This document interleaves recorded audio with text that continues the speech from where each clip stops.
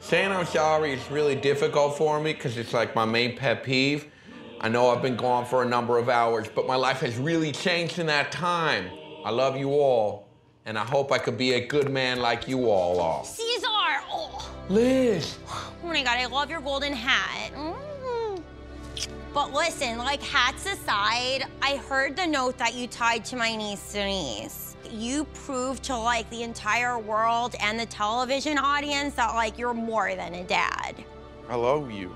But like basically I have like deep feelings for you and like I want you to know that like at this point What? like at this point like at point oh my god I think I'm going into labor at this point that wasn't how the sentence was gonna end but like I do think I'm going into labor at this point excuse me for one Oh, moment snap. No, I'll come with you. I think you need to push it out like a doody oh my god thank you Well, what is it? it's a toilet baby So I know it's mine! born into the toilet Let's smoke blunts!